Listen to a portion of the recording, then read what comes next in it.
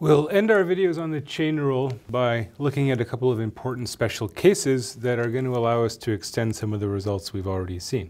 Um, so you'll remember that if you take the derivative of the exponential function, you just get the same thing back. We've seen that now a few times.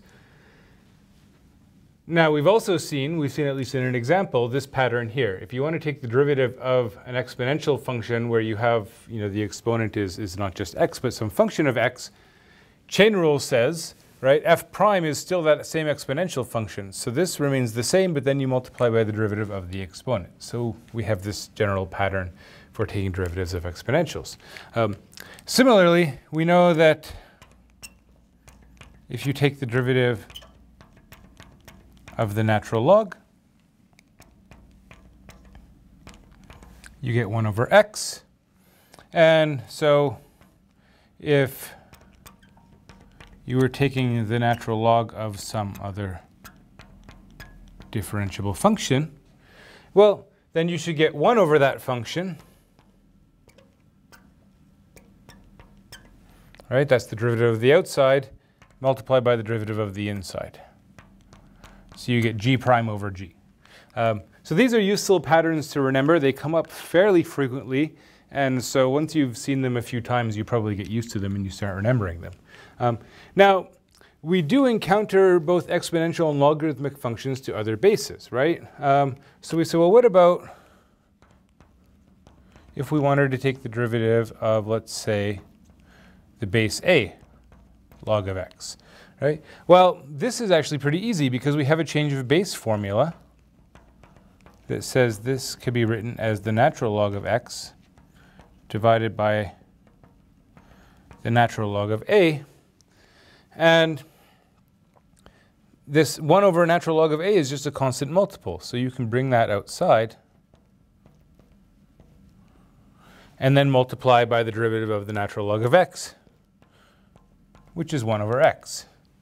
Okay, well, what about if I'm doing the derivative of, of say, a to the x? Or let's, let's keep it simple. Let's look at 2, 2 to the x.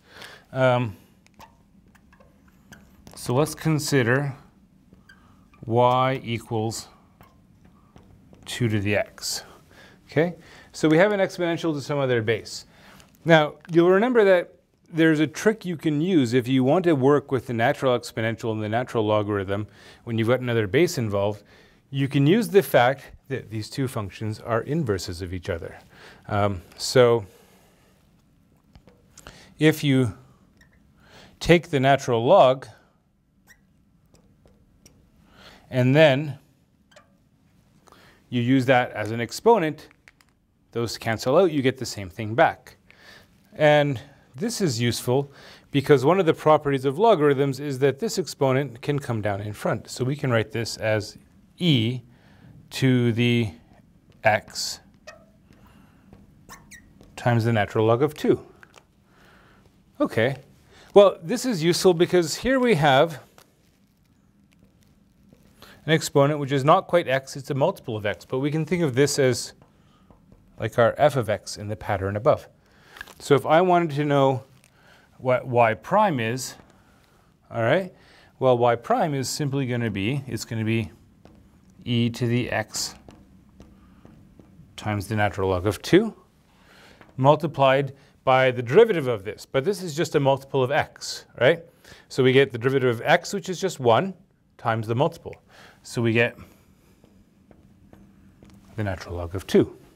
But uh, one last thing, we, we see here that this e to the x times the natural log of 2, that was just 2, 2 to the x, right?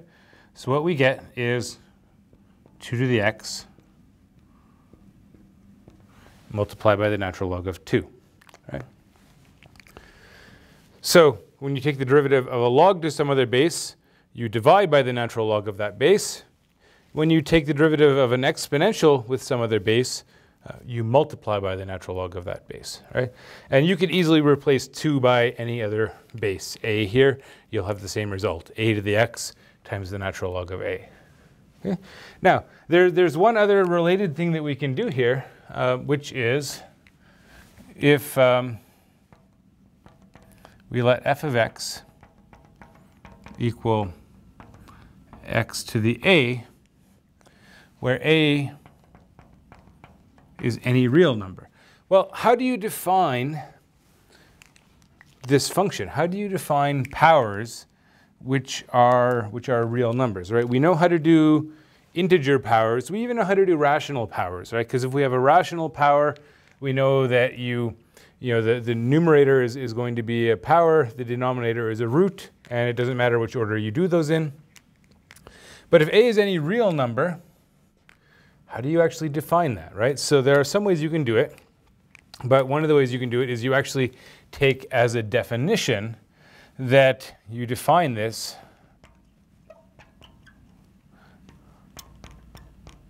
as f of x is equal to, well, again, just as sort of a, an aside, we can do this same trick, right? If we did e to the log of x to the a, right? That should be the same thing as x to the a because these are inverses and they cancel out. Um, but again, log properties say you can bring the exponent down in front. Uh, so you will find that some textbooks actually take this as the definition of a general power function, right, where a could be any real number exponent. They'll say f of x, this x to the a is actually defined as e to the a times the natural log of x. And you might even see that as a definition, right? And when a is a, an integer or a rational number, this is equivalent to our usual understanding of a power function, right? Because we can bring the a up into the exponent, then the e and the natural log, they cancel out. They give you back x to the a. Okay?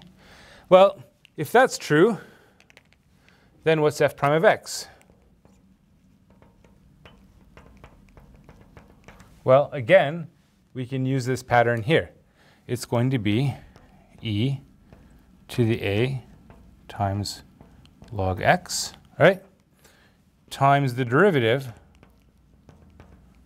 of the exponent. So times the derivative of a times log x.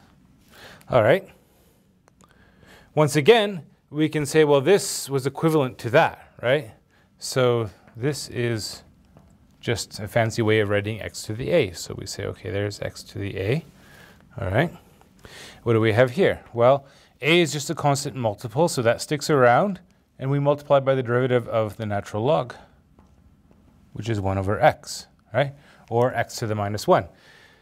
So if I have x to the a and I divide by x, what do I get? Well, I subtract 1 from the exponent. So if I bring that constant out front, what I have is a times x to the a minus 1, just like we had in all the other cases for the power rule. So in fact, the power rule is true for any real number, not just for integers, but for any real number, and you can establish that fact using the chain rule and logarithms.